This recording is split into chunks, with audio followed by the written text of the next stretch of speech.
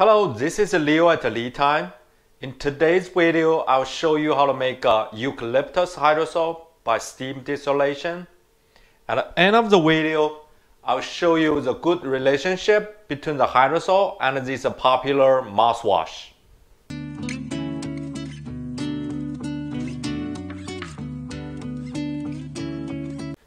I'm using the dry uh, eucalyptus uh, leaf. It's a crushed leaf. A smaller piece is better. If you use a fresh one, I would recommend you cut it by using a scissor into a smaller pieces like this big.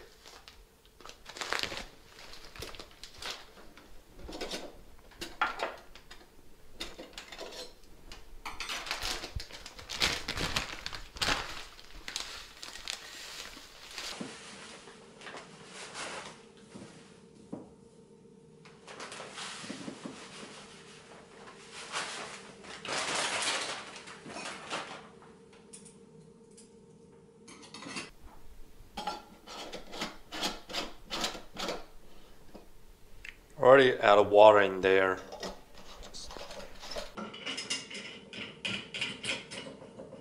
I'm using this uh, oil and hydrosol separator today. If you want to know more how to use this uh, little device, you can watch my last video. Eucalyptol with the chemical name of 1,8-cineole is a monoterpene cyclic ether. Eucalyptus essential oil contains 70% of eucalyptol.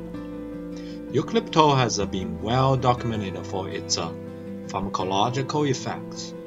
It is used in treatment of respiratory tract disease due to its antimicrobial, mucolytic, broncholytic, and anti-inflammatory properties.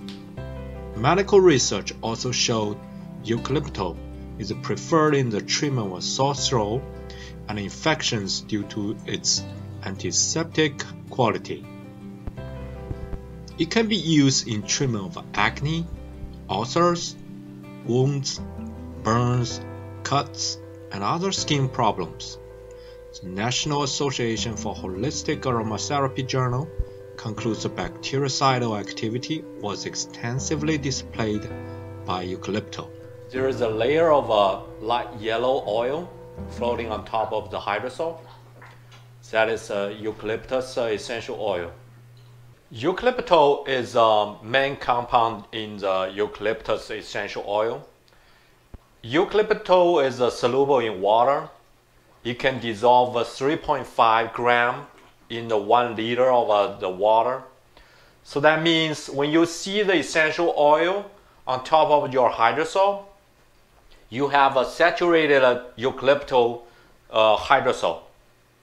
So that is 3.5 gram in one liter. So that is uh, 0.35%. Let's take a look at this, uh, the mouthwash, the chemical compound. So you can see the first one, the active agent uh, ingredient is the eucalyptus. Its concentration is uh, 0.092%. So it is uh, one third of uh, the saturated uh, hydrosol. Or so that means when you having your hydrosol, your fresh made hydrosol, you made a, a very good mouthwash. That's why this uh, mouthwash use that uh, plant-based um, material and also many other, many other the mouthwash, they use the same material. So okay, so today I show you how to do the steam distillation by using dry eucalyptus leaves. And remember, cut your leaves into smaller pieces that can help you make your extraction more efficient and take less time. Like the video, subscribe the channel, and see you next time.